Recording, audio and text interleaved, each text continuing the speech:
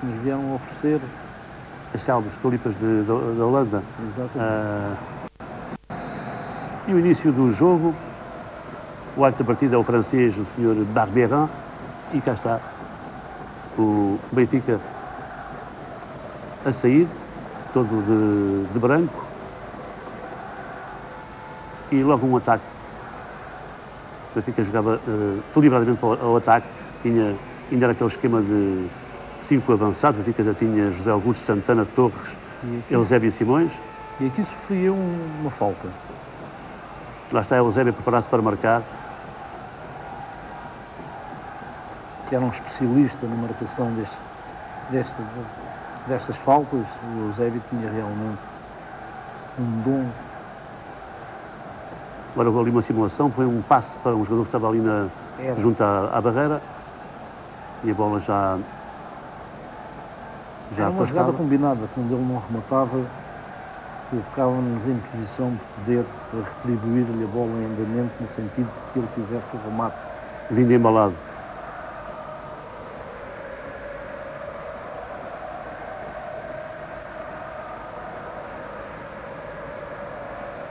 e já a bola colocada lá na, no meio campo contrário, mas sem problemas para a defesa do Benfica, que tenta passar de novo para, para um ataque. Nessa altura o Cavém, depois de ter sido extremo esquerdo e, e de médio direito, já tinha recuado para defesa direito. E era um, um elemento ali que dava toda a garantia naquele setor. Sim, ele, ele o Cavém recuou para médio. Primeiro Sim. para médio foi o que eu disse, e depois passou para defesa. E só depois, mais tarde, é que passa para defesa direita. Mas neste jogo já Com a saída do, do, do Serra e do Mário João, o Cavém então recuou para a defesa direita. Que é o caso de agora, não é? Não, penso, penso que agora o Cavém não está a jogar a, a, está a jogar a médio de ataque. A linha, a linha média era o Cavém, o Cavém e o Coluna. Não, mas também é bom não, não esquecer Santana também. Santana era, jogava, vamos falar na linguagem, na linguagem antiga, o Santana era interior direito. Sim, mas dentro de um esquema, assim, formos cinco claro, avançados. que era, é como, era também um organizador de jogo e jogava numa posição mais intermédia. Claro, mas neste, neste ano já, uh, com o Fernando Riera, houve algumas alterações de vulto na equipa do Benfica e Sim, houve, houve um aproveitamento de, muitos antigos avançados do Benfica. Eh, repare-se que nesta equipa do Benfica, neste jogo feito ao Feyenoord, além do José Augusto, do Santana, do Torres, do Eusébio, de Simões, também havia o Coluna e também havia o Cavém. Uh, portanto, é uma equipa uh, muito, de características muito Sim, atacantes. O, o, o, Santana era o terceiro médio. Era um... E agora ali uma bola bem metida para o ataque do Feyenoord, a partir ali com um perigo, Crivers, homem que joga no eixo do ataque, a obrigar Costa Pereira a sair da sua baliza, embora sem grande perigo, mas a informação do Feyenoord... Neste jogo o Cavém joga realmente a defesa direita. Neste jogo joga realmente a defesa Exato. direita.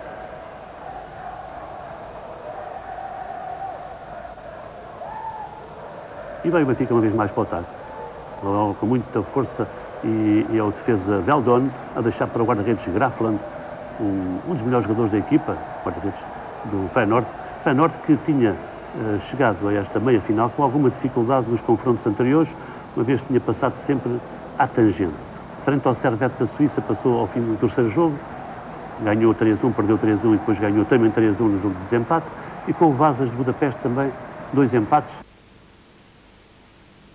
Na terceira vitória, frente ao Stade de Reims de França, uma vitória por 1-0 e um empate uh, um gol. Portanto, aquele 0-0 em Roterdão de alguma forma não surpreendeu muito, já que a equipa mostrou ser muito uh, cuidadosa no seu setor defensivo.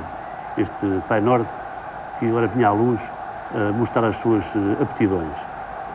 O 0-0 lá em Roterdão uh, tinha sido um bom resultado para o Benfica, face a tudo isto que o Feyenoord já tinha feito. É? Sim, sim, sem dúvida. Aliás, era, era importante que nós, nos jogos fora, marcássemos uma posição... que lhe dessemos depois... Desse, exatamente que nos desse margem para poder, para poder gerir depois o jogo na segunda mão. E, e normalmente eh, as coisas aconteceram sempre de uma forma benéfica para o Benfica. Eh, o jogo do 0 a 0 foi, não foi um jogo fácil, foi um, foi um jogo bastante difícil, mas saímos com a moral de que o jogo na luz seria realmente um jogo para ganhar, como, como aliás aconteceu. Aliás, nem sempre, nem sempre aconteceu isso mais tarde, claro. Uh, e até com equipas holandesas, estou-me a recordar daquela vitória frente ao Ajax lá por 3-1 e depois na luz. Perdemos 3-1. Perdeu também 3-1. E fomos perder o desempate no estádio de Colombos a Paris, em que perdemos com. É o princípio, é o princípio da grande equipa do Ajax. Do, do, é... Johan Cruyff, que estava a despontar nessa altura. Estava... Mas o Benfica teve ali o pássaro na mão, depois daquela vitória é verdade. em Amsterdão. Mas, eh, já, já nos estava a acontecer aquilo que tinha acontecido ao Real Madrid. São ciclos, não é? Seus, das grandes equipas. São os ciclos que as grandes equipas têm. E que não se renovam na altura própria, ou porque, enfim, há, há vários, eh, várias situações que levam a decisões dos próprios dirigentes em não ir renovando a pouco e pouco, porque os jogadores, quando começam a atingir eh, a casa dos 30 anos, e jogadores eh, em clubes que tenham uma competitividade bastante, bastante grande, o caso do Benfica, o caso, o caso do Porto, do Sporting, do Real Madrid, todas estas grandes equipas, quando chega aos 30 anos, os jogadores têm realmente uma sobrecarga de esforço. E é bom que haja, muito jogador, grande. E é bom que haja jogadores já na, é, na reserva para os substituírem, não é? Exatamente, para que se possa ir alternando a pouco e pouco nos lugares chaves, para que a equipa não sofra realmente uma mutação brusca. Uh, brusca. Mas nesta altura o Benfica tinha jogadores... Nesta altura ainda tínhamos realmente, claro... Para maravilhar a Europa. Ainda tínhamos e, e realmente eu fiz cinco taças, eh, cinco finais das, da taça dos campeões europeus. Ganhei duas e perdi três.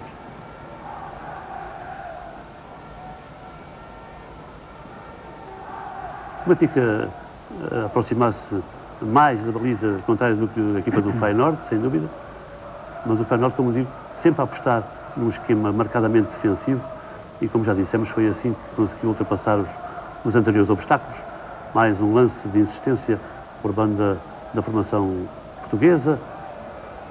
E sempre que a bola ronda ali o lado direito é a vez de José Augusto dizer de sua justiça. José Augusto também tem, refletia muitas vezes para o centro, não é? Eu comecei como avançado centro. Como avançado centro do Barreirense. Barreirense é? Exatamente. Mas, mas, mas é, é, acontecia isso com alguma frequência, direita e sim, centro, sim. mas raramente Eu, lado Normalmente esquerdo. aparecia sempre como, como segundo ponta de lança. Eh, avançado centro, segundo. Segundo avançado centro, hoje chamado ponta de lança. E daí os, os, os muitos gols que marcou no Benfica e também os muitos que deu a marcar, é um facto. Mas os Augusto e os José Águas uh, foram os grandes goleadores. Eu, durante a minha, a minha carreira no Benfica, ao serviço do, Benfica, marquei 41 gols de cabeça. Isso é, é de facto obra.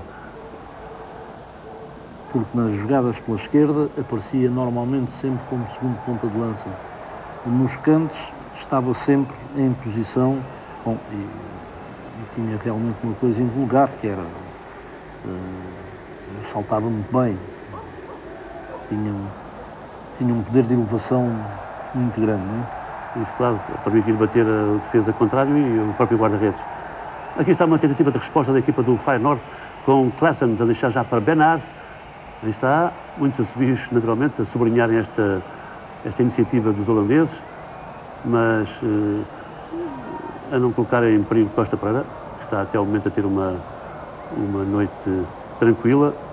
Vimos-lo há pouco apenas a sair da sua área para pontapear face a uma incursão de, do avançado Krivers, mas pouco mais. A bola de novo a pertencer ao Benfica e a Eusébio. Cá está ele.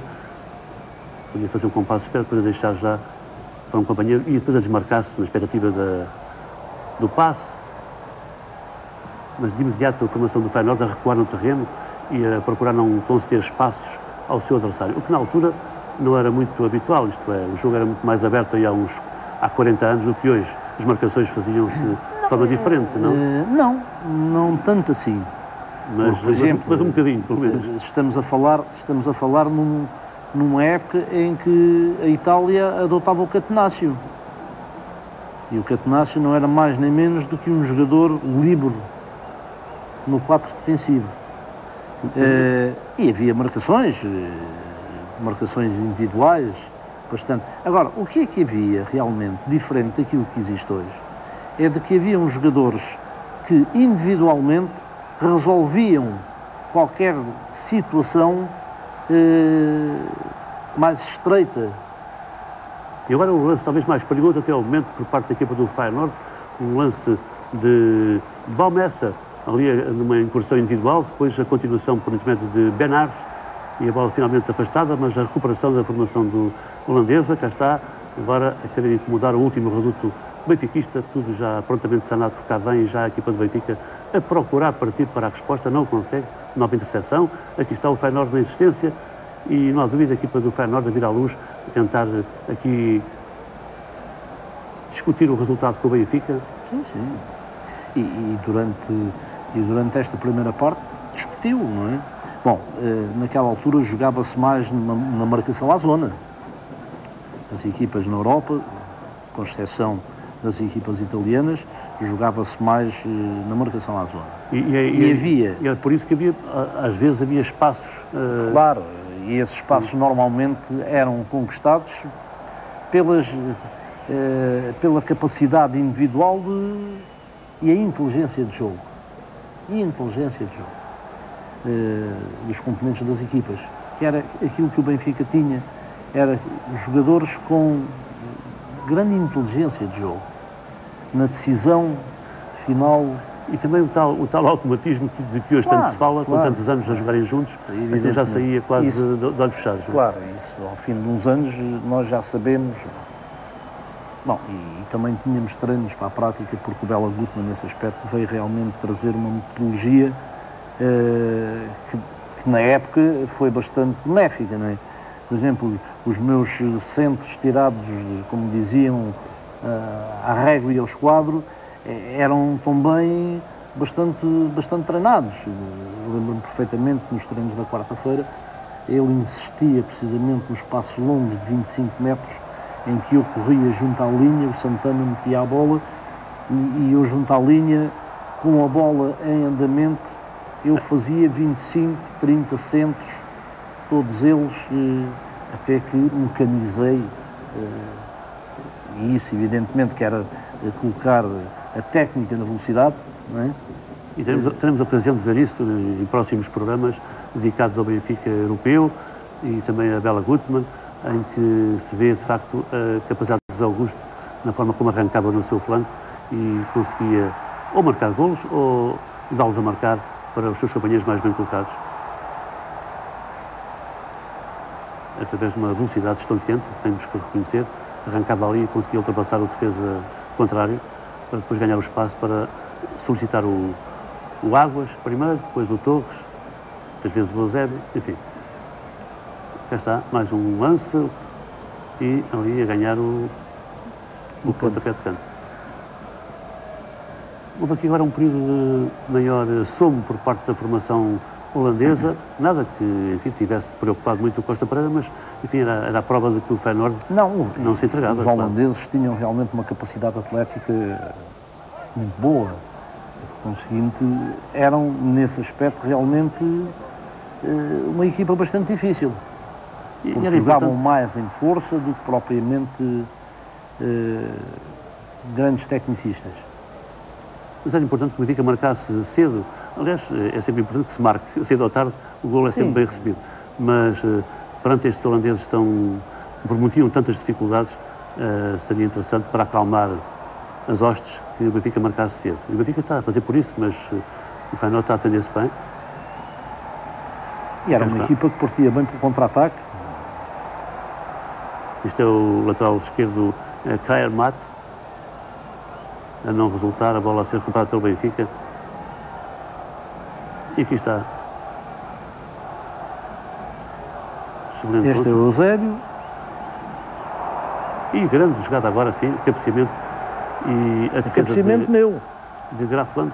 Quando, quando alguém surge no lado direito, o Augusto uh, transita logo para o, para o eixo do ataque, não é? A tal, a tal a tal variação de que falávamos. Primeiro quarto hora de corrido, 0-0, mas aqui foi o lance talvez mais perigoso, porque aquele que obrigou o guarda-redes a fazer uma defesa. Já vimos ali algumas aproximações perigosas junto a uma baliza e a outra, mas este foi o tal lance que podia ter dado gol. Excelente intervenção de Grafland ao seu cabeceamento e o resultado a manter-se. Agora um fora de jogo assinalado uh, Bergold, o homem que surge aqui no lado direito. E marcado por uh, jogador holandês, marcado por Fernando Cruz, que jogava como defesa uh, esquerdo. Aqui está ele. O jogador também não vou dizer que seja intratável, mas duro, o Fernando Cruz não deixava assim, não dava grandes hipóteses aos seus adversários diretos. O Cruz era um jogador que, para além de, de, de ser um jogador viril, era um tecnicista por excelência também.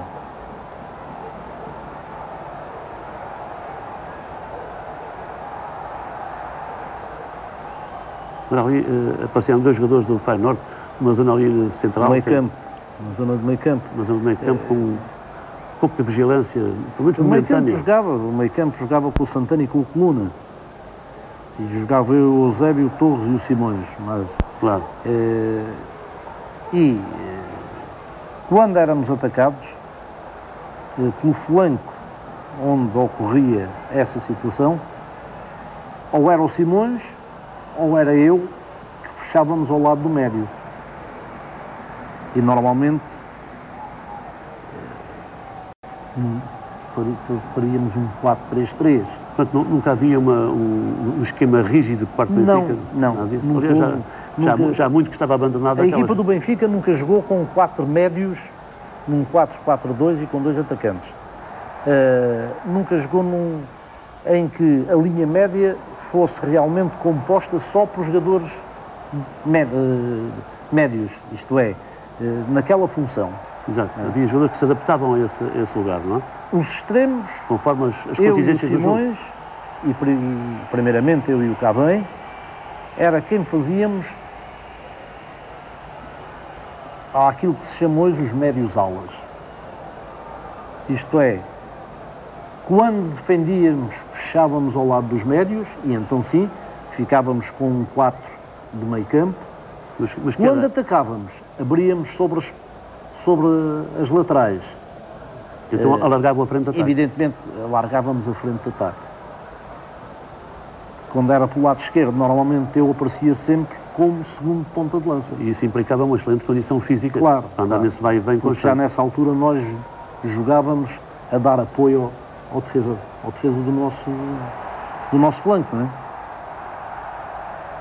Só que tínhamos realmente uma capacidade individual muito boa que nos permitia claro, fugir às marcações e, e sobrepor-se sempre e aos sobrepor. adversários, mesmo que fossem europeus credenciados, como é o sim, caso sim, deste Feyenoord, que está agora a insistir, mas que continua a não conseguir. Eu penso que neste jogo o Feyenoord teve estas fases eh, de jogo com alguma ascendência, dado realmente a robustez física eh, dos seus atletas claro, também, mas fundamentalmente à força física.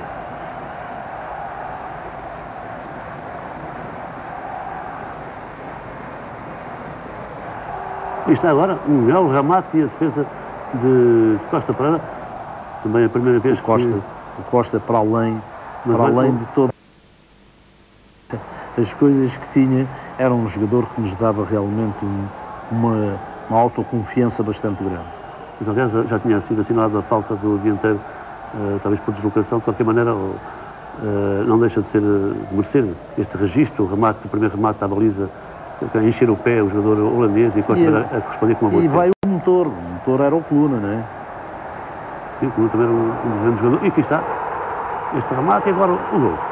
O primeiro gol. O primeiro gol do, do jogo do Benfica, o gol do Eusébio, ali a aparecer bem ao seu jeito na recarga e a fazer o 1 a 0 para a equipa do Benfica. E era a loucura no Estádio da Luz. Não temos aqui o, o chamado replay, a repetição do lance, porque na altura não havia e nós respeitamos o, o tempo e não estamos aqui a aplicar uh, tecnologias de agora. o gol de Eusébio a dar vantagem finalmente ao Benfica no jogo e também na eliminatória, dado o 0 a 0 da primeira mão. Agora com este 1 a 0 e face àquilo que já tinha acontecido, uh, mais ainda se enraizava a ideia de que o Benfica ia passar mesmo, não? Não, havia realmente... O que, é que pensou, o que é que pensou nesta altura? Uh, não, uh, havia, claro, o que lhe posso dizer depois destes anos todos é que nós tínhamos uma alta confiança perante o jogo que realizávamos com, com este tipo de adversários, não é? E sabíamos que no Estádio da Luz, mais minuto, menos minuto, que haveria de aparecer o gol.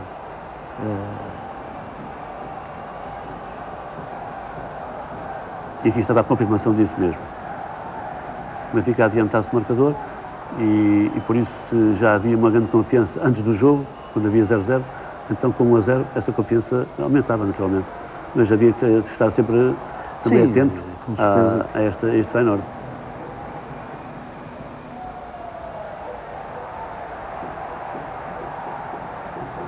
Havia realmente uma enorme confiança nos recursos da equipa.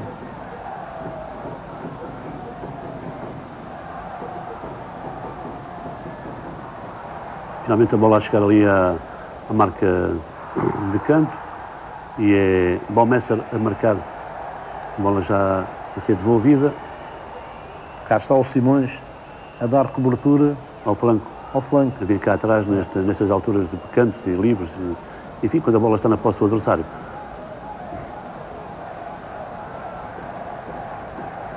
E o Benfica nunca fazia, uh, nunca usava aquele expediente de tentar reter a bola e passar o tempo quando estava na, na, posição de vencedor? Sim, sim, sim.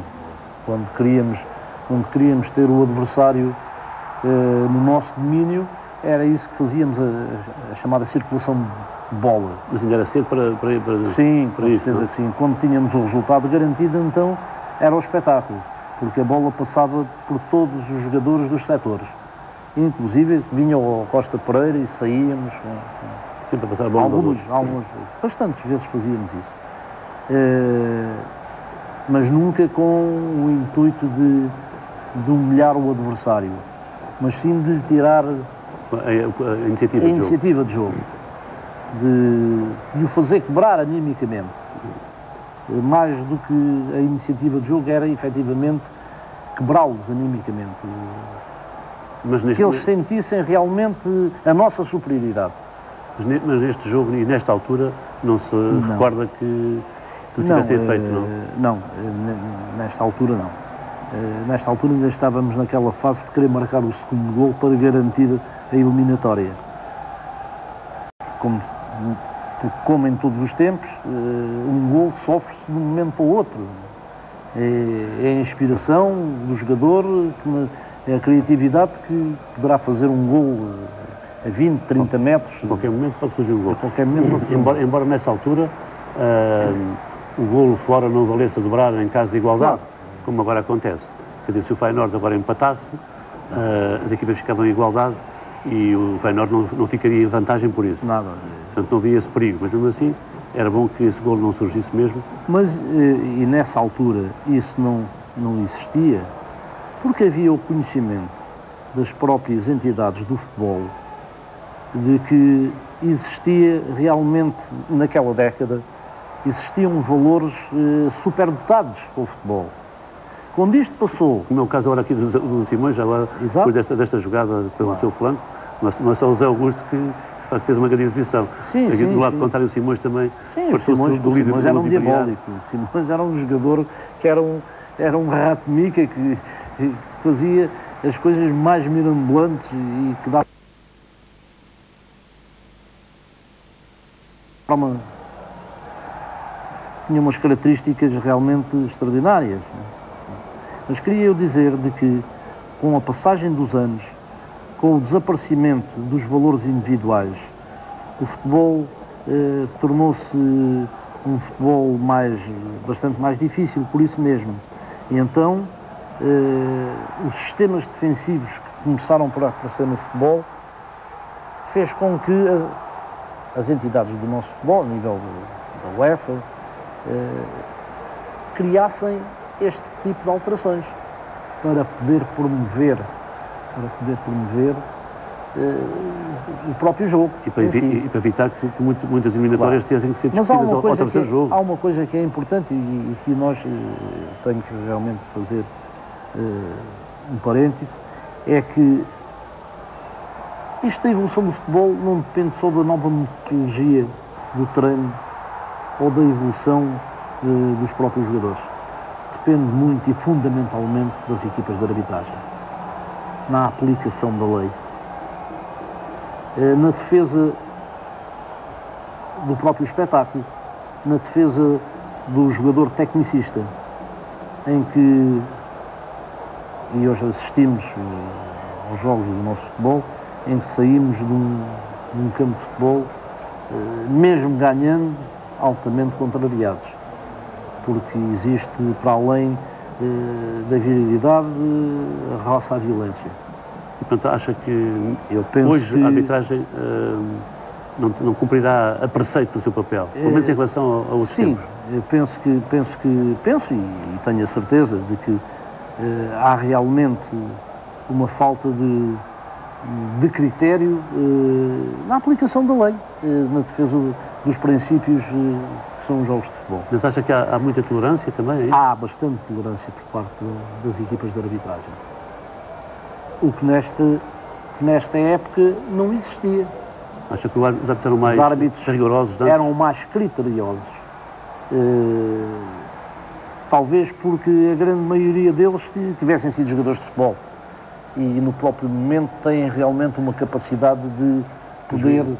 Analisar e sentir, ter um sentimento próprio da falta, uh, que eu penso que é isso que falta hoje uh, à maioria dos árbitros é que agora aqui um lance de muito perigo, mais uma vez, junto à baliza de Grafland, ali a aparecer uh, Torres e também Eusébio, no fim de contas, jogadores adiantados, mais adiantados do Benfica, mas o Sr. Barberran, já que estamos a falar do árbitro, recordo que quem dirigiu esta partida foi o francês Barberran, um árbitro muito prestigiado na altura, e só podia ser um árbitro de grande prestígio para dirigir um jogo da meia-final, segunda mão, claro. da Taça dos Campeões, não era um árbitro qualquer. E havia realmente árbitros uh, extraordinários, como existem hoje. Não quer dizer que hoje não tenhamos bons árbitros. Uh, porque. E, e de facto temos bons árbitros também, temos, a nível temos. nacional e internacional. Mas haverá isso, essa pecha que o Augusto agora referiu, uh, de alguma excessiva benevolência e, e, tal, e a tal falta de critério de que, de que se refere, ou agora um pouco rigoroso, logo a seguir nem tanto, e isso acaba por se refletir no desfecho do jogo. Nós hoje temos realmente jogos que têm 60 e tantas faltas. Mas isso a culpa também é, também é dos jogadores, não? Não, não, a culpa é dos árbitros. Também dos árbitros, mas... Os, eh, os jogadores uh, só as cometem por, porque lhes é permitido. Eu não posso, no, no futebol de hoje, não posso admitir que, que um jogador uh, que fez 16 faltas durante o jogo que tenha só tido um cartão amarelo. E muitos deles, às vezes, nem um cartão amarelo têm. Quer dizer. Nesta altura, uma vez que o Zé Augusto era, era extremo-direito e, e. O Zé Augusto também nunca foi alvo marcações eh, duras, violentas mesmo. Ah, sim, para, com certeza. Também, também fui, mas eu tinha. Eu e achava que realmente... eles, eles, eram, eles eram uh, bem, bem, bem castigados? Eu tenho, eu, tenho, eu, tenho, eu tenho a impressão que. Tenho a impressão, não tenho a certeza eh, que havia muito mais respeito uh, nos, pelos próprios jogadores naquela, na, naquela época do que existe hoje. Repare, a nossa equipa era tudo portugueses. A maioria dos jogadores do nosso futebol eram todos portugueses. Claro que havia estrangeiros, claro que havia. Mas não tanto como aquilo que se faz sentir hoje. E parecendo que não, isto também é importante. Isto também é importante porque nós existimos hoje em equipas eh, a falta de respeito eh, do próprio jogador para consigo próprio, eh, na atitude que tem em relação ao adversário. E isso é uma coisa que os árbitros não podem tolerar de maneira nenhuma. É aqui que eu, que eu chamo a atenção, porque o árbitro é realmente a principal personagem no jogo na defesa uh, do espetáculo. Do espetáculo. Uh, Passa fundamentalmente pelo árbitro. Estes jogos que se aproximavam já muito da, da final, portanto eram jogos cada vez com um grau de dificuldade uh, maior, uh, tinha aqui e acolá algumas, uh, alguns episódios, se calhar, que oh, marcaram, oh, certeza. do, do jogo, em, sobre o jogo em Viena, na primeira claro, edição da claro. Taça dos Campeões, que até nem chegou ao fim, por exemplo. Mas que Zílias houve sempre, não é? E, e, neste jogo, recorda-se se houve algum momento menos agradável? Não, uh... não, não tenho ideia absolutamente nenhuma e creio que o jogo terminou realmente uh, sem num, problemas num clima, num clima de, de, de, de, festa para nós, mas de, compreensão e de aceitação uh, pela derrota por parte do Feyenoord. Quer dizer, não, de maneira alguma uh, houve qualquer, uh, até mesmo da parte dos holandeses, que depois se retiraram no seu cruzeiro de barco para a Holanda, houve realmente uma festa extraordinária. Uma festa até ao fim. Houve agora ali uma, uma, uma entrada. Não, essa claro, claro. É claro, em todos os tempos existiu. Não é por isso que deixará de. Agora, Tem que haver, sempre... Havia realmente um princípio de respeito muito mais uh, evidente, do, evidente que, do que, do do que existe hoje no futebol. Poderiam dizer os tempos são outros. Se calhar até nos tempos perderam-se valores que, que não se deviam ter perdido, não é? Eh, todos nós sabemos que já se passaram várias gerações eh, depois, depois da, da nossa eh, e que o futebol veio mais a partir da década de 80 veio começando a perder qualidade. Vimos agora mais um lance de, de perigo. É sempre um perigo quando a bola pingava ali na zona frontal e, e um tal Torres se elevava com aquela estatura toda que nós sabíamos e a pôr em perigo, mesmo que os defesas contrários fossem também altos, mas a causar perigo à defesa contrária. É, cá está, mas um lance que pode ser perigoso, vamos ver como é que, não haverá um remate de longe, mas sempre que a bola vai ali para aquela zona onde o Torres uh, pontifica, uh, claro o, o gol pode sempre acontecer, não é? é havia, havia, sempre essa, o Torres, essa pela sua estatura, era realmente um quebra-cabeças posto das centrais, porque ele jogava ali mais, mais plantado, uh, naquela zona, e mas, mas os, os, extremos, os Augusto, Sim, eh, claro. uh, visava já o, o Torres, tentava colocar a bola para a cabeça Exatamente. dele. Exatamente. Porque treinávamos essas situações. É claro. Essas situações eram treinadas. E eu, eu, eu lembro-me perfeitamente quando o Torres chegou ao Benfica. Chegou comigo, no mesmo, no mesmo ano em que. Veio do Torres Novas, não é? Uh, o Torres veio do Torres Novas e tinha, o Torres tinha um tio uh, que tinha sido jogador do Benfica. E fui treinar ao Bolonenses, teve uma semana no Bolonenses e mandaram-me embora. Sob o argumento de? É, sob o argumento de que o Torres naquela altura tinha 1,90m e tantos e era um, era um rapaz novo, magro, não tinha uma fisionomia muito... Uh, talhada para o futebol? Muito talhada para o futebol. Uh, pronto. E, e não ficou. E o tio dele, o Francisco Torres, sido jogador do Benfica no tempo do Vitor Silva, do Valadas, eh, levou-o ao Benfica. Falou com o Caiado, está bem, traga lá o homem. E o Torres eh, esteve lá também 15 dias a, a prestar provas. Aí está, mais um lance de ataque, Eusébio Torres, ali, tal Torres de que estamos a falar, e agora parece que não ficou contente com o adversário, ali e cá está o ali a chegar com toda a autoridade e, a separar os dois jogadores. Claro. E ao fim de 15 dias eh, tinha que haver uma decisão sobre a permanência ou não dele no clube.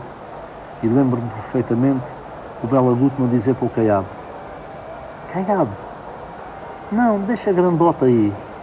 Grandote? Grandote. Deixa a grandota aí, vais ver que ainda vamos ter grandes satisfações com ele. E assim foi. E então o Torres foi inscrito, foi inscrito no Benfica e antigamente havia as reservas que jogavam aos sábados. É? E, e o Torres foi jogar a. foi jogar contra o Arroios e no primeiro jogo marcou 9 golos pela reserva. E depois jogou contra o Sacarvenense, salvo erro, marcou mais 6. E então o Bela Gutmann dizia, senhor, vai ser um grande marcador. Isto está agora uma boa defesa de Costa Pereira, também está a jogar, para quem estivesse distraído. De facto, a equipa do Feyenoord não se aproxima muitas vezes da baliza do Benfica, mas quando se aproxima já causou algum perigo. Um belo remate foi de Benars, uh, um ataque cruzado, mas Costa Pereira atento a defender. Depois então o Torres surgiu ali no Benfica a fazer muitos gols, mas uh, tinha alguma dificuldade em, se, em, surgir na primeira equipa, uma vez que estava lá um senhor chamado José Águas. Com certeza, e nunca foi titular, enquanto Águas lá teve, nunca foi titular. Mas houve sempre o critério eh, do, do acompanhamento e o Torres uh, teve sempre uh, uma fase de progressão à medida que os anos foram passando e, e que não foi titular na primeira categoria, mas fazia alguns jogos, lembro-me, nos particulares, e era normalmente suplente.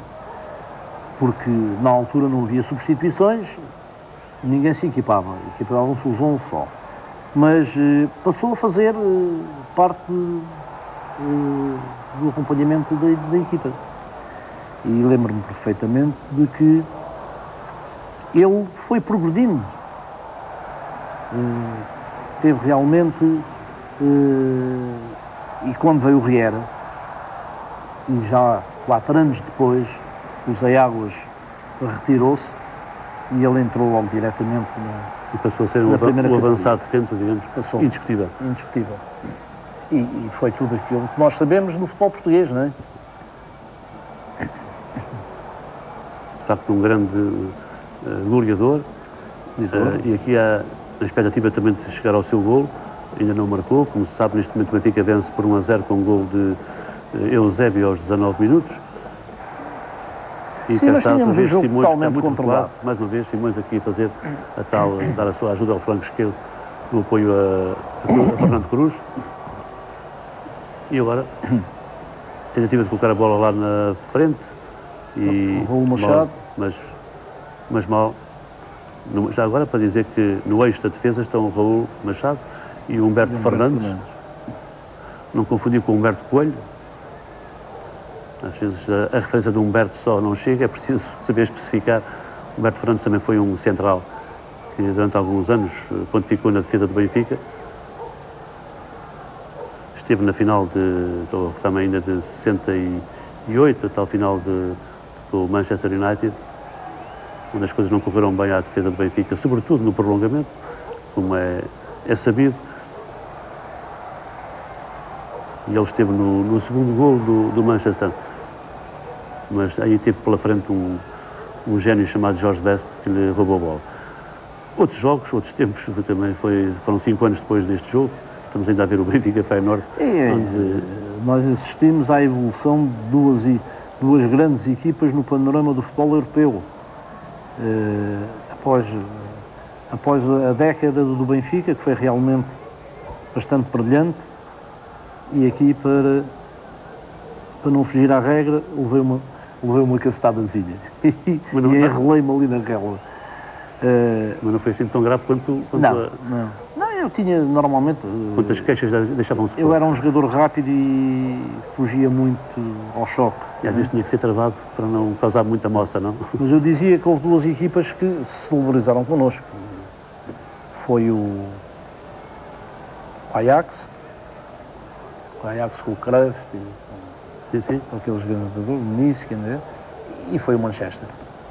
Foi o Manchester do George Best, do Bobby Jardon, eh, do Dennis Lau, jogadores que eu mais tarde tive o privilégio de jogar com eles numa, em duas seleções europeias da, da FIFA UEFA. Sim, mas sabe que o Benfica não teve sorte com, com, a equipa, com o Manchester eh, das vezes não, que defrontou? Não, uh, as vezes que defrontámos o Manchester, uh, e aqui estou a ser repreendido porque me deram um toque e eu não gostei nada do toque que me deram.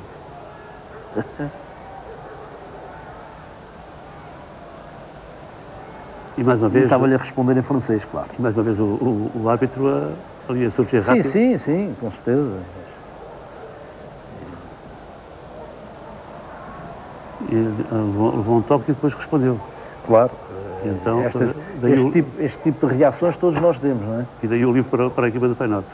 Um, Mas dizíamos que, frente ao, ao Manchester, a equipa do Benfica não, não foi feliz porque uh, apanhou essa formação no, no, no seu auge, não é? Apanhámos. Uh, não só na final de 68, como também naquela eliminatória em 66, 66. em que as coisas não correram nada bem. Em que perdemos 5 a 1, em que perdemos 5 a 1 na luz e tínhamos perdido 3 a 2 em, em Manchester. Essa foi a maneira para esquecer, essa da, do Estádio da Luz? Essa do Estádio da Luz é a pior recordação. Há duas recordações que eu tenho na minha vida desportiva que foram realmente muito Dolorosa. trágicas. Foi essa? Essa, não pela derrota, mas pelo acontecimento que, que se deu durante essa semana, em que antecedeu o jogo, em que o meu melhor amigo faleceu. Era um amigo de infância, vivemos sempre juntos e E terá, terá pesado no ânimo? Uh, pesou bastante. Hum. Pesou bastante, foi talvez das piores exibições porque eu não tive a oportunidade sequer de estar no, no funeral dele, de me despedir dele e senti, senti bastante, senti bastante a, a morte dele, e, que nem treinei, fiquei de cama, o Belo Gutmann eh, não me permitiu que eu tivesse ido, ido ao funeral. E a outra foi realmente eh, aquele, aquele dia trágico da morte do Luciano no Estádio da Luz, foram realmente duas. em, em dezembro de 65, Exatamente. Foram realmente podia ter sido ainda dois pior. acontecimentos eh, que me marcaram bastante eh, na minha carreira desportiva. Mas enfim, a vida continua e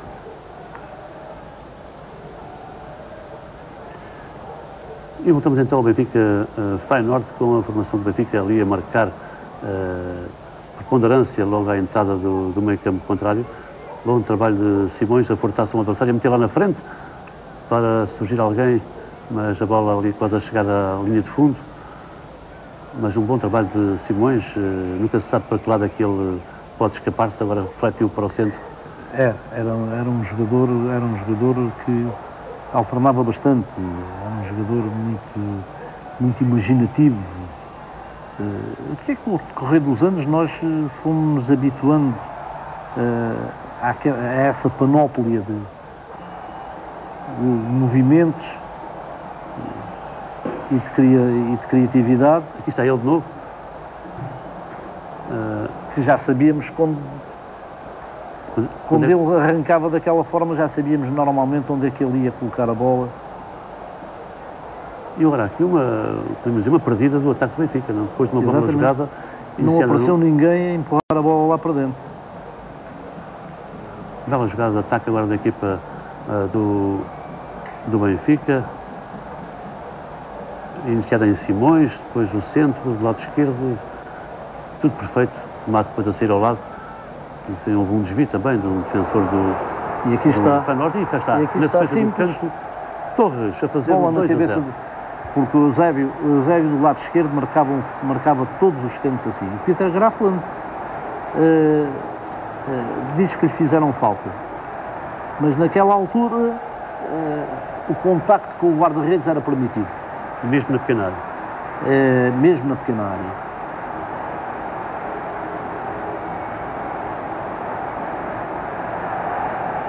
Aliás, o, o- o terceiro gol de Portugal à, à Hungria na fase final do, do Mundial de 66 também é um canto do Eusébio na cabeça do Torres, ao segundo posto. Terceiro, gol à Hungria. Depois dos dois gols de José Augusto, Pois, aliás, também foi de canto que, o Eusébio, que o Eusébio marcou.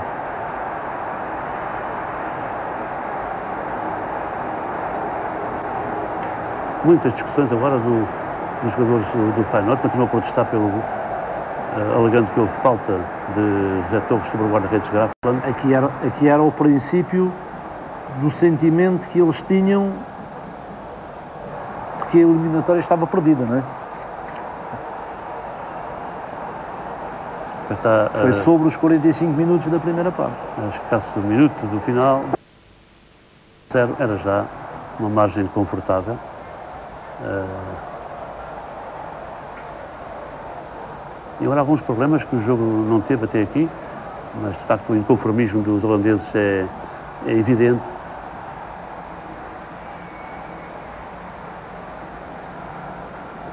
Equipa do Feyenoord anunciado um pontapé livre. E está o Costa. E Costa para à vontade a recolher. Pela sua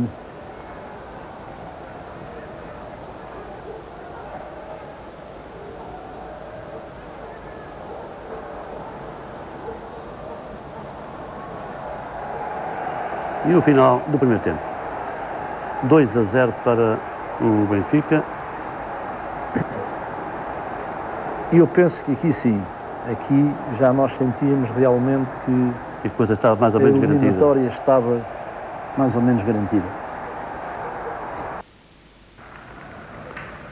E cá estamos para a segunda parte de, do jogo, festa nas bancadas da luz, com 2 a 0 ao intervalo. De facto, como já vimos e já dissemos, uh, uma vantagem muito que dava uma grande, grande tranquilidade à equipa do Benfica. Uh, e também, como já foi referido, a obrigatoriedade das equipas manterem os mesmos 11 uh, não propiciava qualquer revolução numa, numa ou noutra equipa. Acho que eram os mesmos jogadores, não havia alterações de. A menos que houvesse alterações de, de posicionamento dos jogadores, isto é, que a equipa holandesa pudesse surgir mais adiantada no terreno, em busca do, do golo que lhe pudesse ainda dar a hipótese de discutir o, o desfecho. Mas com certeza que o Benfica também saberia depois reagir a isso. E cá está, os primeiros momentos com a equipa do Feyenoord uh, ali a tentar aproximar-se, mas só pela certa, a equipa ainda a trocar a bola, ainda longe da baliza Costa Pereira.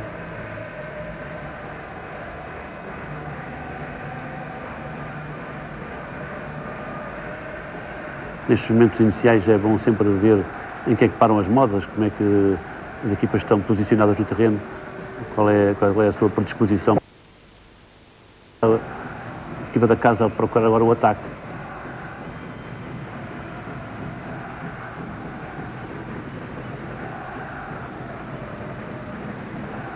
Uma má entrega, mas também depois um passe sem conta. Antigamente podia-se atrasar para o guarda-redes e ele recolher a bola. Recolher a bola com as mãos. Uh, e hoje essa lei foi, foi alterada. E bem, e bem. Porque propiciava muito o antijogo, sempre espaço para o guarda-redes. Agora pode-se passar para o guarda-redes, mas como se sabe, tem que parte superior. a bola com os pés. E eu penso que, que o futebol, que não deverá sofrer grandes alterações, tem contudo uma a partir de determinada zona do terreno que não se deveria poder passar a bola ao guarda-redes. Uh, mas enfim. Era ali um holandês a não gostar de uma, de uma falta sobre si cometida. Os jogadores a mostrarem já algum nervosismo, já víramos isso no final da primeira parte. Isto ao Benfica a procurar ali acercar-se a brisa de Grafland. Excelente ali o corte do defensor uh, Cry, a ceder uh, canto e marcado à maneira curta. Bola bem virada ali para, a área do Feyenoord, já a bola rechaçada, a ser recolhida por um jogador do Benfica, ali no meio, mas também há ali um, um excelente policiamento por banda da defesa do Feyenoord, procura depois passar para o ataque. Aí é que já é são maiores os problemas para a equipa holandesa. Consegue, de facto, opor-se bem na sua defensiva, cria ali imensas dificuldades aos avançados do Benfica, mas depois, quando o Feyenoord procura passar do meio campo para a frente, é, é que são elas. Não consegue uh, fugir ao espartilho bem montado pelo meio campo e defesa encarnada. Neste, neste, neste jogo jogou toda de branco. E daí o zero que ainda registra no marcador esta formação do Feyenoord, apesar das tentativas. Cá está mais um lance em que se prova uh, a capacidade da formação portuguesa, antecipação também, uma boa arma para ganhar a posse de bola. E repare, eh, normalmente eh, jogávamos normalmente a bola de primeira. Porque a, a defesa, a, defesa do Feyenoord estava muito bem composta. Aliás, sempre foi, sempre foi a panagem de todos os tempos é mais fácil destruir que construir. Aos atacantes compete-lhes marcar os golos, mas às defesas competem-lhes ganhar os campeonatos.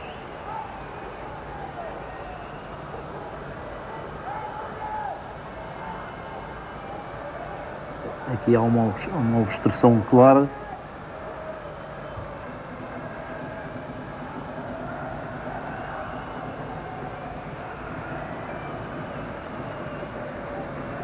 E já ia ali um holandês decidido um, a ajudar o adversário, neste caso para que ele se levantasse rápido, para que não demorasse tanto tempo. De facto, a equipa do Feyenoord já a evidenciar alguns sinais de nervosismo perante o resultado.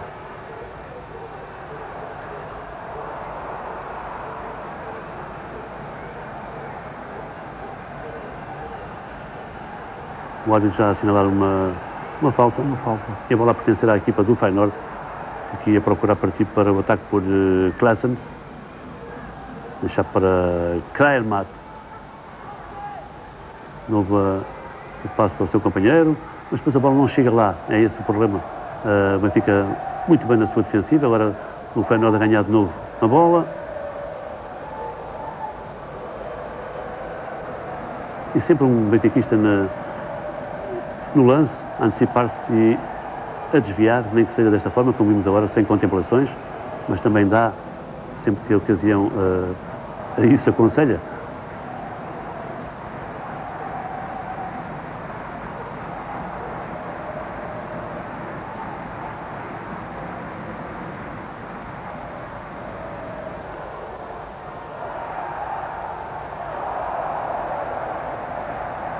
Benfica a cercar-se sempre com mais perigo, a forma como toca a bola e se aproxima da área contrária a revelar uma, uma maior mobilidade do que o seu adversário. Mas agora neste lance, entre o Simões a colocar bem a bola, mas ou o Eusébio ou, ou o Torres, ou, o Torres é um jogador mais estático lá na frente, mas quer dizer, o Eusébio, Simões, José Augusto, uh, Santana também, oh, se agora ali apareceu a defesa do, do Feyenoord.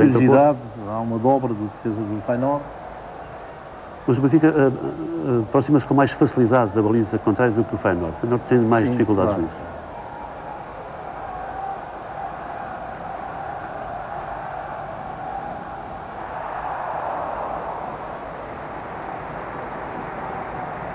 E aqui e ali, o Benfica quase a jogar a passo, uh, sabendo que não é preciso acelerar muito para conseguir tocar a bola, não é? É, é que também, os espaços também não eram, não eram muitos, não é?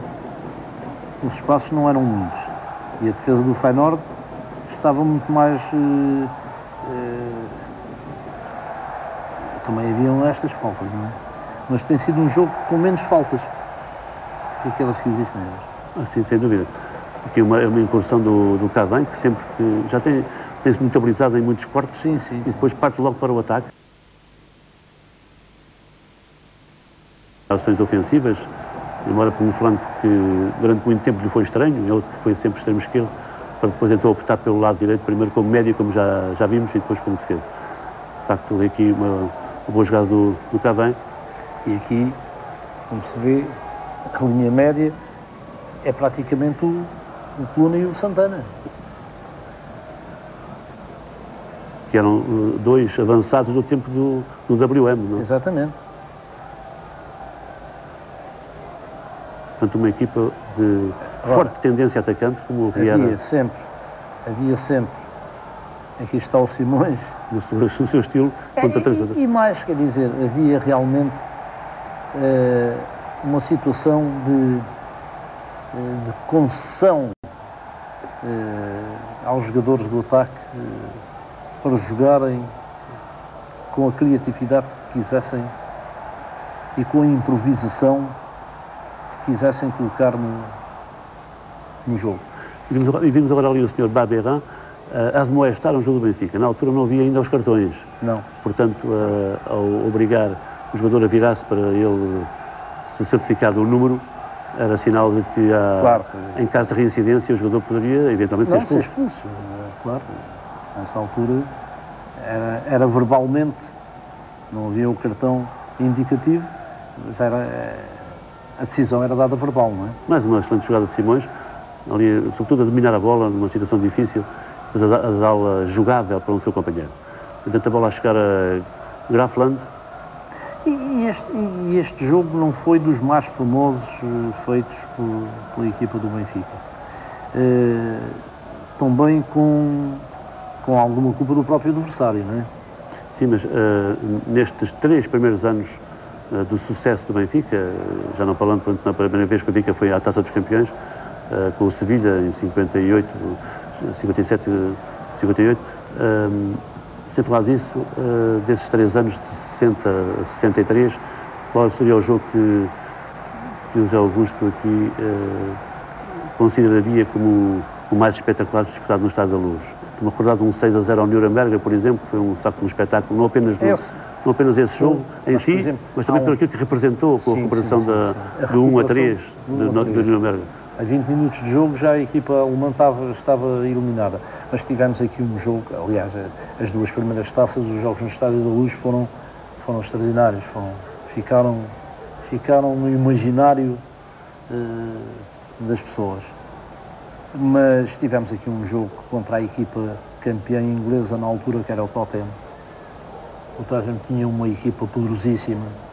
O ganhou 3-1. Ganhámos 3-1 e lá perdemos 2-1. Num terreno e... Eh, enlameado de propósito, eh, propósito propositadamente. Para dificultar a ação do Benfica. E lembro-me que o nosso Costa Pereira, saudoso Costa Pereira, foi o melhor jogo que eu vi o Costa Pereira fazer. Mas olha que o guarda-redes inglês também fez sim, sim, sim. uma grande atuação porque, Mas, porque uh, inglês os avançados altura, do Benfica também fizeram muito inglês, trabalho. Sim, teve bastante, também esteve, foi um jogo parado e resposta. E nós tivemos a sorte de marcar uh, logo no início. Logo no início. E lembro perfeitamente do, do Tottenham era o Bob Smith, era um indivíduo mais alto que o Torres e com uma corpulência, era um tanque e tinha um jogador que era o Jimmy Greaves, que era é um dos melhores jogadores ingleses de sempre. Jimmy, Greaves, e, e, tinha o Cliff Jones, que era o extremo esquerdo, e tinha o Danny Blanchflower, que era um escocês no meio campo, Exatamente. Fez que era um, um jogador extraordinário. Fez marcou o gol da vitória do era, Tottenham Era a coluna daquela equipa.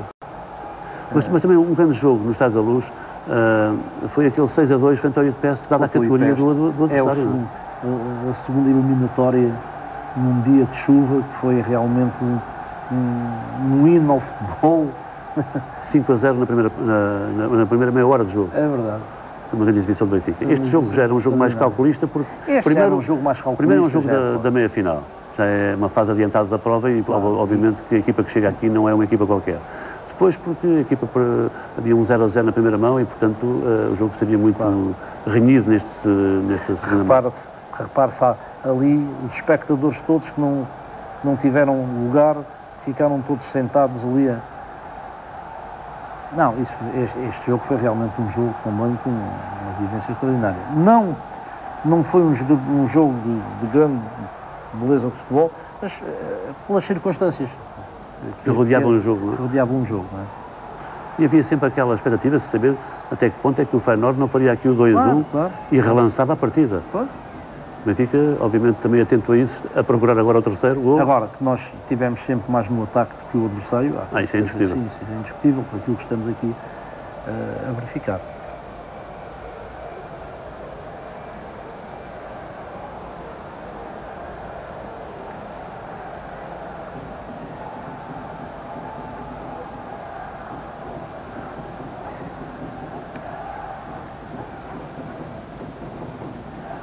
Um livro para o Benfica.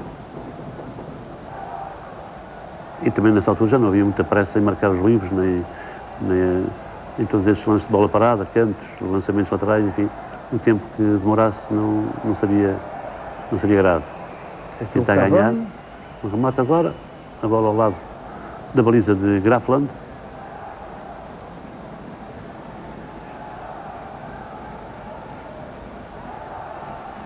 Significa conseguir ganhar a, a bola. Repare-se como o Feyenoord não acerta nas, no passe e não passa do meio campo. E a melhor maneira também de defender o resultado é jogar no meio campo do adversário. Sem dúvida. Para evitar surpresas, o Benfica consegue conter uh, as tentativas do, do, do Feyenoord e continua a jogar ali perto da área contrária mais uma vez a bola ali a ser repelida por eh, eh, uh, Cray. No jogo aéreo tem estado, tem estado bem. Aquele é central do Feyenoord. E uma, uma precisidade do Coluna num passo de calcanhar. Aqui está, mais uma e jogada. aqui está o Simões. Brilhante. Mas a bola, bola já teria saído. Ultrapassado. Podia ter uns espectadores quase dentro do campo. É, ali junto à linha lateral.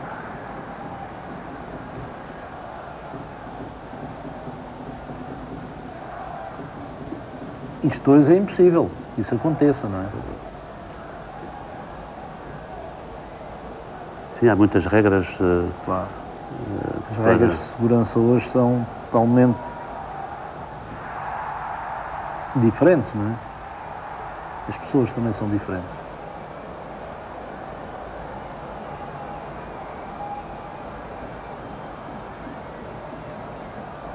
E cá está a Costa Pereira a colocar a bola na marca e com toda a calma a preparar-se para pontapear. Como é o seu estilo. Até no pontapé de baliza o Costa Pereira tinha uma forma de, de chutar a bola. Muito um, um estilo muito pessoal. É, eles também de vez em quando também davam umas cacetadazinhas e tal, claro. Não é adiantar muito o jogo do Benfica, mas cá está sempre, sempre a tentar o ataque. E já com o primeiro quarto de hora de corrida desta segunda parte, os holandeses a, a não gostarem que os jogadores do Benfica fiquem deitados no terreno.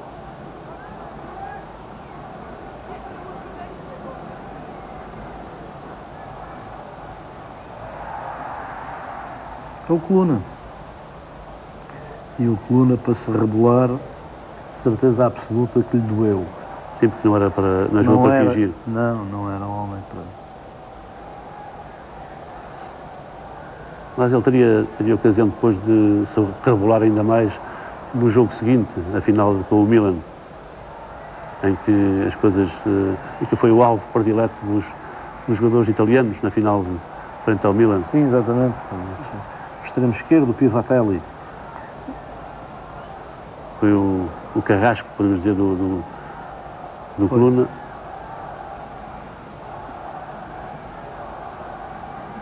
Eles estavam a dar um bocadinho.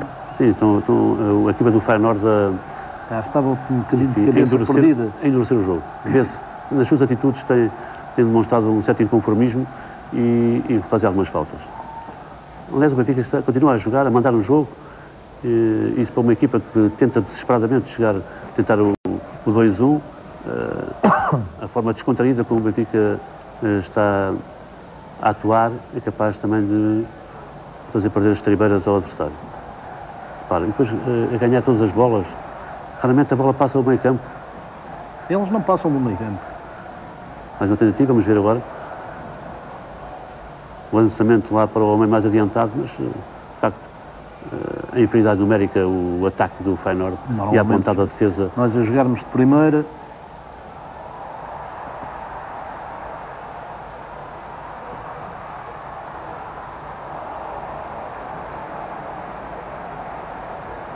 Bem, ali a ganhar o pontapé de canto. Esta simulação de ir à bola para obrigar o adversário a cortar e a ter canto. E agora muito tempo até que este seja marcado.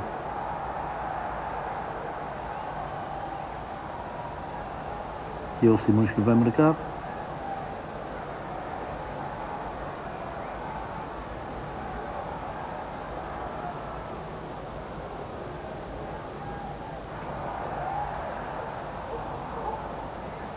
Bem jogado, ali colocada no meio, depois de um bom trabalho na, na aula direita. E a feição do jogo a manter-se, que o Benfica a dominar por completo e a não permitir que o Feyenoord uh, discuta sequer o jogo. Bom trabalho de Simões, mais uma vez, a bola colocada lá no meio, cabeceamento, ali para o remate, Santana é o golo, é o 3 a 0. Belo golo de Santana, depois de uma assistência, de um passe de cabeça de Torres. né? Não. Passo de cabeça a devolução de bola. Claramente, a bola colocada lá para, para o eixo do ataque, ali o Amorti para o remate de Santana, que aparece na- no, no sítio certo e faz o 3-0 com 18 minutos desta segunda parte. Se dúvidas ainda houvesse, elas dissiparam-se nesta altura. Com 3-0 então é que não havia mesmo hipótese nenhuma para o Feyenoord. Agora, agora era só gerir, não é? Aliás, como, como estávamos a Como há pouco, a como há pouco dissemos, os golos fora não valiam a dobrar, em caso de igualdade no, no cômputo das duas, das duas mãos. Portanto, mesmo que o Feyenoord, por uh, qualquer motivo, conseguisse chegar ao 3 a 3, uh, eh, ficaria apenas em situação de igualdade, nunca de vantagem. Portanto, era preciso que o Feyenoord marcasse 4 golos, o que era impensável até haveria o prolongamento, não é? Nessa altura haveria então prolongamento, porque o terceiro jogo era uma coisa que só surgiria depois de um prolongamento. Também não havia grandes penalidades para desempatar nessa altura. Houve várias, várias formas de desempate ao longo do, dos anos, ao longo das épocas, mas nesta altura era um, era um prolongamento e depois a marcação de um terceiro jogo. Também houve já o processo de moeda ao ar, que também não é das mais brilhantes. Também não é das mais brilhantes. E o Benfica disse que pode queixar um célebre jogo com o Celtic da Escócia em 69. Fomos eliminados por moeda ao ar. Mas a maior injustiça não terá sido aí, mas no, num, num, eventual 4 a 0 que o Benfica chegou a conseguir e que o árbitro não considerou que a bola esteve dentro da baliza escocesa. Esteve, Mas está coisas. Aí o Benfica teria ganho por 4 a 0 e não haveria mais uh, discussões uh, numismáticas, digamos assim. Por moeda ao ar que favoreceu a formação do Celtic. Uma vitória por 3-0 dos escoceses em Glasgow e de, também por 3-0 do Benfica na Luz que obrigou a tal prolongamento, no qual o Benfica fez um gol que o árbitro não se apercebeu. Aqui está o, o Feyenoord a tentar o ataque muito mal, muito mal, bola para fora e de resto já estava lá. Penso que aqui já estavam, já estavam completamente em desmotivados. situação descrente.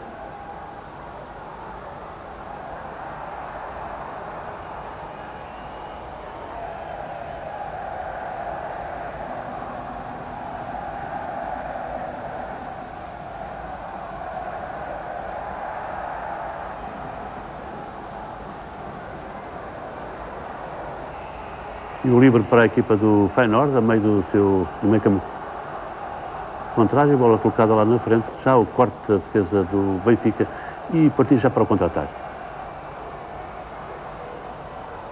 Futebol mais prático, atenção, pode ser mais, mais um gol, um remate de bola em bater num adversário,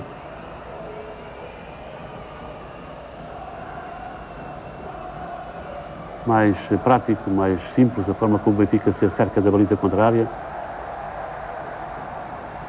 E é poder também tirar agora vantagem, já que uh, a formação do Feyenoord a colocar muitos homens mais na frente, a tentar chegar ao gol, e por isso, de alguma forma, também a, a desguarnecer mais a sua zona defensiva.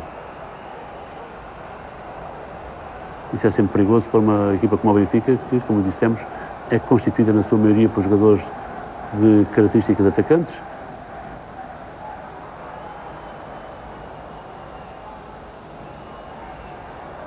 E cá está a forma como o Feyenoord tenta responder apenas com um jogador um avançado em cunha, que é Kraver. Muito pouco para a dupla Raul Humberto Fernandes e para as eventuais dobras, caso elas sejam, fossem necessárias. De modo que o ataque o Feyenoord condenado ao insucesso.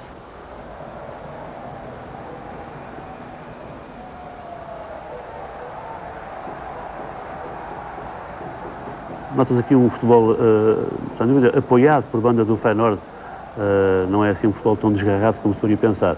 É apoiado, só que uh, é servido por poucos jogadores lá na, na frente e a inferioridade numérica não tem hipótese no confronto com a defesa do Benfica.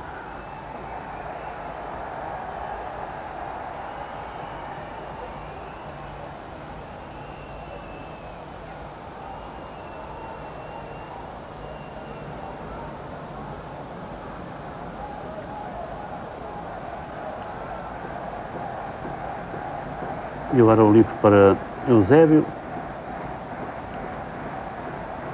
Ali com Santana a seu lado. É a Santana que nos coloca lá para a cabeça de Torres. E o pontapé de baliza para Peter Grafland. E esta parte do jogo já sem grande interesse em matéria de, de novidades, já que estava tudo resolvido. 3-0 dava toda a tranquilidade ao Benfica. Benfica que tinha eliminado, já agora recorde-se, uh, a equipa do Norrköping da Suécia 1 a 1 e 5 a 1 na luz e depois uma difícil eliminatória com o Dupla de Praga 2-1 na luz e curiosamente com dois gols do Coluna que não era habitual ser o marcador o Zé Augusto com o Águas e, é. e, e, e, é o Coluna que faz dois gols um dupla que depois em casa não consegue mais do que 0-0, uma grande exibição do Costa Pereira, e daí que o Benfica tinha chegado à meia-final com o Feyenoord. É esse jogo, esse jogo com, com, essa, essa eliminatória com a dupla, onde pontificava um tal Mazal Pust, que foi considerado o melhor jogador de, europeu. Uh, foi uma eliminatória extremamente das mais difíceis foi, que o Benfica mais difíceis. Eu creio que foi, foi a mais difícil nesta, nesta qualificação, nesta, nesta taça. Foi realmente o jogo com a dupla de Praga e como é que explica que tenha sido o Coluna a marcar os golos? Uh, acontece. Mera, mera circunstância claro. do jogo. Com tantos, é com tantos avançados. Aliás, o Coluna também era um jogador que rematava bem, era um jogador frente ao Luís, era sempre, o seu remate também era sempre uh, feito com com direção. De forma, de forma intimidatória. Fez, fez vários claro. gols nas finais e, e em jogos decisivos. É um facto, os gols à coluna não tais gols. coluna, quando marcava, arrancados cá fora da área. Quer com o Barcelona, com o Real Madrid, Exatamente. também com o Penharol, na, na primeira mão da, da Taça Intercontinental. O teve poucos golos, mas uh, foram todos eles, quase todos eles decisivos. Mas, mas foram golos marcados, de, digo eu, com pontapés uh, cá de sim, fora da rua, sim, como se dizia sim, na altura, não é? E então é, é, é curioso. Tinha um pontapé potente. Mas era curioso que, frente a um dupla uh, muito defensivo, mas defensivo no, no, bom sentido, quer dizer, uma equipa que sabia defender muito bem e depois passar para o contra-ataque, uh, tenha sido ele o autor dos dois gols. Era uma equipa que jogava um 4-4-2, na altura. Já praticava, já praticava o meio campo e onde pontificava, normalmente todas estas equipas tinham um organizador de jogo e o Mazo Pusto era realmente um jogador eh, onde, onde o jogo passava todo por ele. não só do dupla, mas também na própria seleção uh, checa, já que uh, no Mundial de 62 ele foi um elemento preponderante da sua equipe. Sim, sim. A escola, a escola checa era realmente uma escola bastante, bastante boa. Sim, tinha pergaminhos eh, desde, pergaminhos. desde há muitos anos. Ah. Um aspecto interessante nesta, nesta edição é que, uh, nesta e na anterior, uh, o campeão europeu uh, ficava isento da primeira eliminatória. Portanto, o Benfica só fez três eliminatórias até chegar à final. Aliás, aconteceu, mesmo, jogos. aconteceu também o mesmo com, com, com, o Real Madrid, sempre que no, no, ano seguinte ia à Taça dos Campeões depois de ter ganho a anterior. isso na altura era encarado como um aspecto positivo. Agora, agora seria menos uma receita, se calhar até os clubes não gostariam, claro, claro. Não gostariam de, não, de, ficar, ficar hoje, sem uma eliminatória. Hoje há muito mais clubes e há clubes que ficam isentos nas primeiras eliminatórias, mas depois eh, os moldes hoje são totalmente diferentes. Os moldes hoje são, são mais para defender eh, os, os, clubes de maior dimensão. E, e, fortalecer a sua conta bancária. Portanto, hoje em dia olha-se muito à questão uh, do, enfim, de, do, do, que é que uma prova internacional pode uh, proporcionar a um clube. Uh, hoje em dia já não se fala na Liga dos, dos Campeões, na Liga dos Milhões. Uh, em vez dos, dos pontos, fala-se dos pontos. Uh, a linguagem já mudou um pouco. É evidente que é importante para, para a sobrevivência de um clube, mas uh, é bom não esquecer também a vertente competitiva. Pois, é claro que há, há situações que impedem, impedem outras, mas não há dúvida absolutamente nenhuma que estamos numa, numa época de confluências económicas. E, e muitos interesses em jogo. É? E muitos interesses em jogo. Portanto, o Benfica, nesta época, portanto, tem 62, 63, isento da primeira eliminatória, elimina o Norr Shopping da Suécia de uma forma fácil, um empate, uh, empate lá em casa do adversário, depois uma, uma goleada de 5 a 1, que era um resultado muito, muito frequente na luz, e depois a tal jogo com a dupla, muito apertadinho, 2-1-0-0. Fizemos sete jogos. E depois, é, com, afinal, fizemos sete jogos. Depois com o Feyenoord, este é o, é o último jogo antes da, da final. Eu penso que os moldes atuais não só eh, dá muito mais vantagens económicas aos clubes, com certeza que sim, mas eh, também dá muito mais eh, concessão de facilidades na, no prosseguimento da prova. Claro, porque ou outro, ou, ou melhor, era, era, tudo mais decisivo. Ou melhor dizendo, eh, estas situações eram mais decisivas. Claro. Estas eram a eliminar. Claro que naquela altura aqui o Benfica fez uns milhares largos de contos, não é? Qualquer coisa como, sei lá, 30 e tal mil contos. Na altura não, era considerado... Na altura eram, enfim... Uma fortuna. Nós sabemos que na, naquela época o, o custo de vida, não é? Que nunca foi fácil, mas tenho, tenho a certeza de que eh, era bastante mais equilibrado do que agora. Sim, o espetáculo também eh, era, era extremamente acessível, não é? E hoje as e hoje coisas são... Os preços são bastante elevados. Houve agora ali uma boa defesa do guarda-redes Grafland, o Benfica não deixa de tentar o ataque. O Feyenoord também procura aproximar-se da, área contrária, mas uh, com pouca convicção. Estamos já com meia hora de jogo. 3-0 para o Benfica. Golos de Eusébio Torres e Santana. Este último gol de Santana já na segunda parte. Falta um quarto de hora para o final e tudo consumado. O Benfica estava já a pensar na final frente ao, ao Milan. Era uma tentativa do futebol italiano chegar ao título, depois da, da Fiorentina ter jogado com o Real Madrid e o próprio Milan ter jogado também em 58 e ter perdido apenas no prolongamento. Recorde-se, o herói desta desta saga inicial da Taça dos Campeões Europeus foi o Real Madrid com cinco vitórias, mas uma referência especial para a equipa francesa do Stade de Reims, que chegou por duas vezes à final. Equipa que, onde... Raimundo Copa. Raimundo Copa, que foi uh, na primeira edição, ele depois viria a jogar no, no próprio Real. Mas tirando então uh, o Stade de Reims, uh, a Fiorentina e o Milan, foram outros finalistas vencidos e o último desses, desses cinco foi a formação alemã do Eintracht Frankfurt, gloriada por 7 a 3 em Glasgow, em, Glasgow. em, em 1960. Uh, portanto, o Milan ia aparecer pela segunda vez na final e está para uma grande ocasião e passou ao lado. O gol não surgiu por acaso. De facto, agora o Benfica a ganhar por 3-0 e a dar-se ao luxo de criar ocasiões que lhe poderiam uh, permitir uma vitória ainda mais robusta. Não era preciso tanto, mas uh, mais um gol seria melhor, claro. A bola ali a ser rechaçada sobre o risco e depois a bola tirada para fora. O perigo a passar para a formação do, do Feyenoord. A sentir enormes dificuldades face ao, à pressão do, da equipa do Benfica.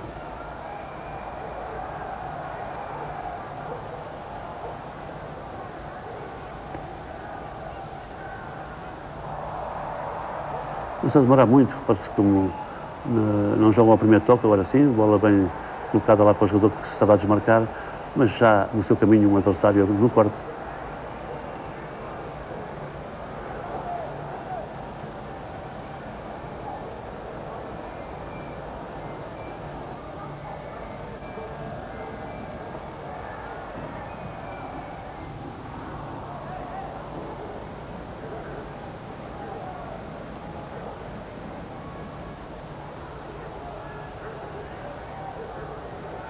é tudo mais, mais lento. Está o Zé Augusto uh, tentar combinar com um companheiro, ali a surgir no quarto um, um homem do meio campo.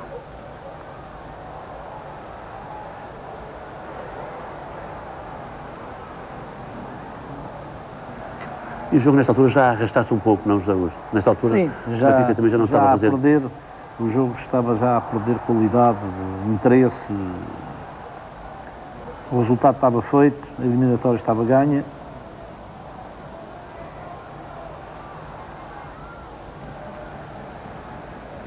A descrença dos próprios adversários arrastava-nos para uma situação de jogo mais tranquila, mais lenta. E ali o Costa Pereira ali a sair, a não conseguir ficar de posse de bola e a criar um lance de perigo e o Feyenoord a ganhar um pontapé de canto. Mas todos os maus fossem esses, não é? quando está a ganhar por 3-0. Canto para o Feyenoord, é lá no lado direito o Bergholtz a marcar.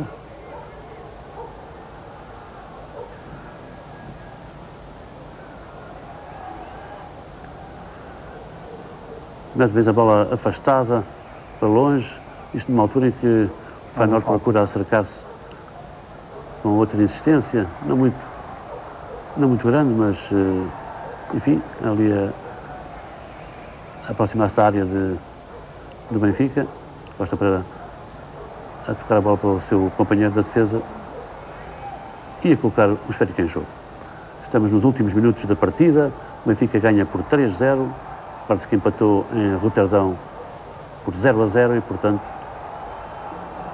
a um passo da final, terceira final consecutiva, algo impensável uns anos antes. O que é que diria que o Benfica conseguia uh, repetir a proeza de, do Real no que respeita às, pelo menos às três primeiras edições, ser finalista.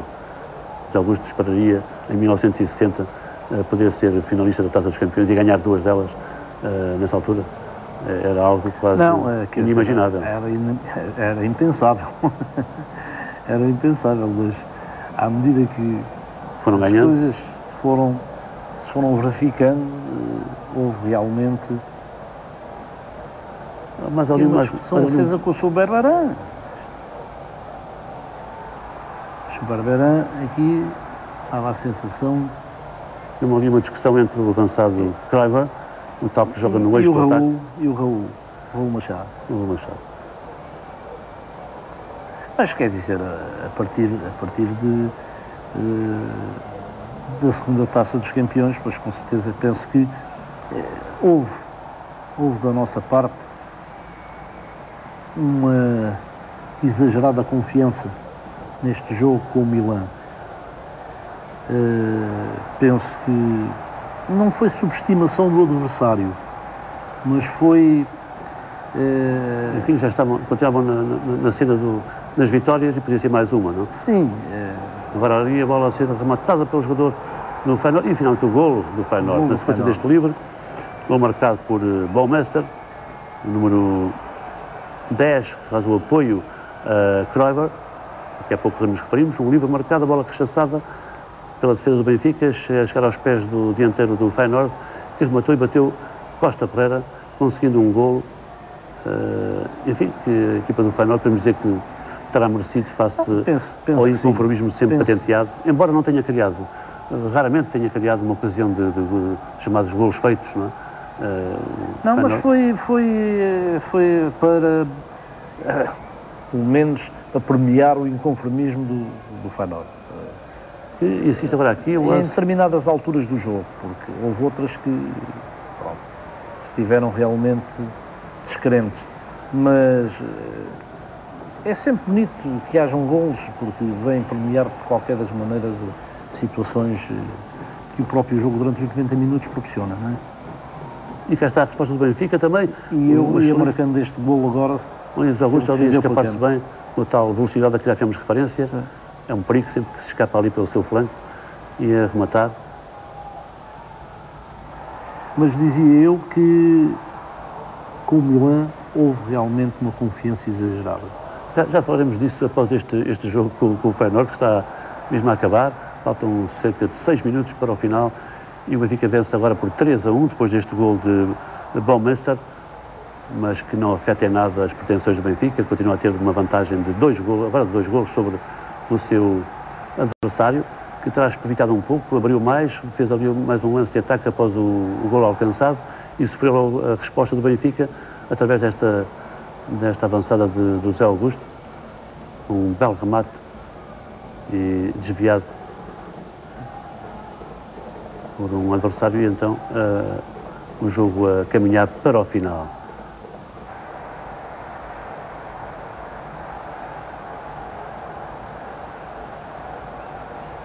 Muitas demoras na reposição, como é habitual, sempre que nos apro- aproximamos do final de um jogo.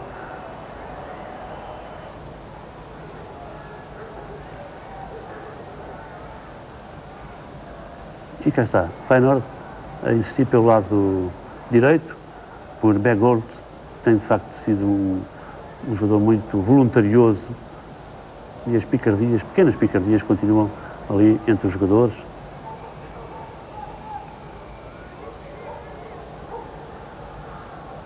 Obrigado, de resto, o Página Auxiliar, na altura o fiscal de linha, ali a, a entrar em campo.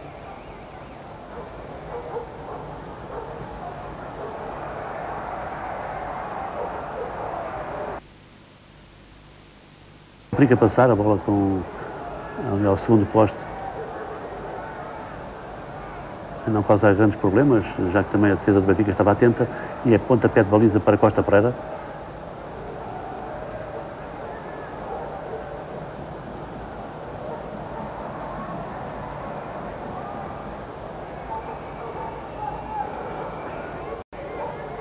E mais uma jogada com, parece que o Fernando Cruz. É Fernando entrou sobre o seu adversário, o mesmo eh, Bergols, e obrigar este mergulho uh, do dianteiro holandês. Como já dissemos, o Cruz, uh, com enorme talento, é facto, mas também uh, um pouco excessiva viralidade em alguns lances. Aliás, do lado esquerdo, o Benfica teve sempre jogadores duros. o Cruz, também o Ângelo, também não era, não era, não era propriamente um jogador dócil, O jogo entrou numa fase de picardias. Agora uma falta sobre o Eusébio.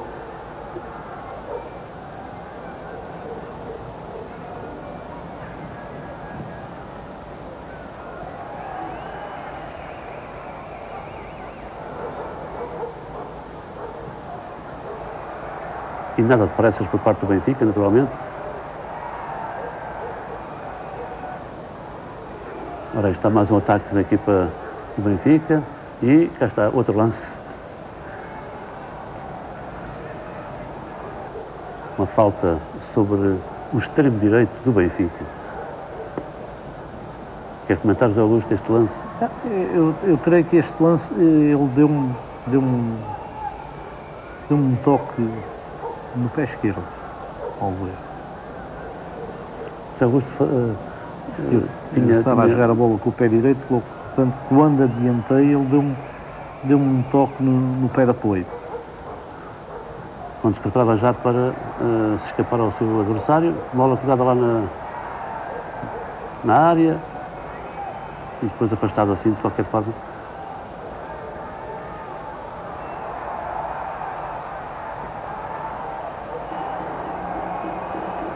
Eles estavam com o mal, com o mal perder, não é? Sim, há, há, mínima falta é, são, no contacto, o, o, os jogadores do reações, têm reações. São reações químicas. Todos têm quando as coisas não, não, não correm bem, não é?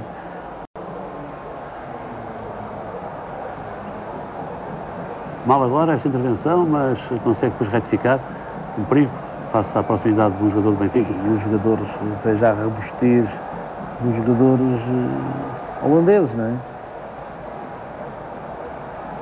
muito bem a circular a bola a equipa do Benfica, quase como fazem na, na perfeição, obrigando a correr os seus adversários. Olha agora.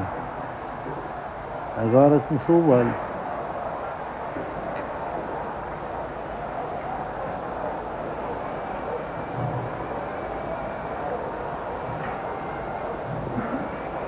O Zé,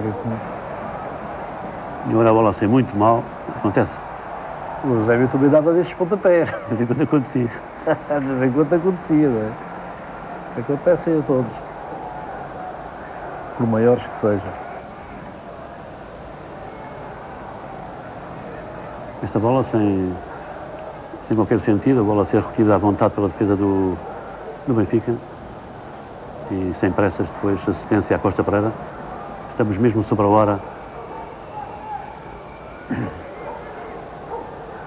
alguns segundos para o final da partida.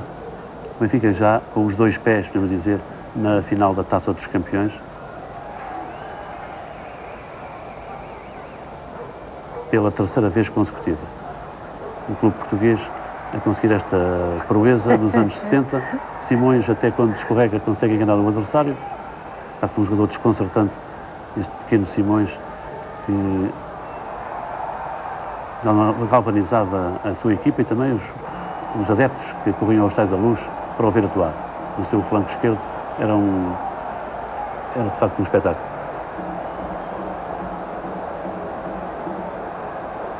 Bola lá mais vez para o meio, mas agora a defesa uh, do Feyenoord a dar conta do recado. A bola ainda a sobrar para o jogo do Benfica. Atenção, um lance perigo, remate, mas ao lado. Últimos lances da partida.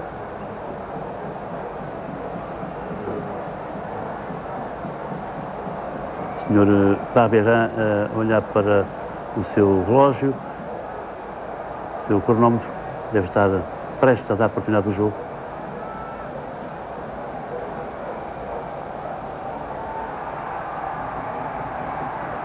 Está Simões a combinar muito bem, depois a escapar-se pelo lado esquerdo para receber o passe.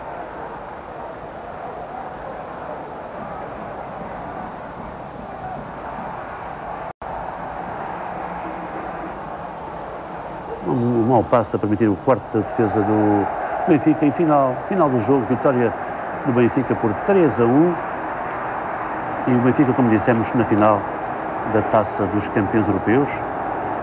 Invasão pacífica como acontecia nessa altura. E não vou dizer que metade do estádio se transferisse para o relevado, mas quase. Parece as pessoas que entram no relevado para vitoriar os seus jogadores e depois aquelas cenas que também assistíamos habitualmente neste, no final dos jogos, quando a invasão era de facto pacífica por parte dos adeptos do Benfica. Eram os adeptos que queriam camisola eh, e a polícia não, não entendeu aquilo como uma, uma manifestação de, eh, de benfiquismo. Vamos é, de facto, o final do jogo.